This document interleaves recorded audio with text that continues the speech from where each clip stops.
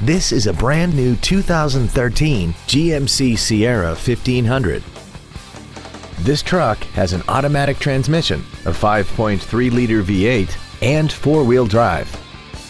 Its top features include speed-sensitive volume controls, commercial-free satellite radio, traction control and stability control systems, and a tire pressure monitoring system.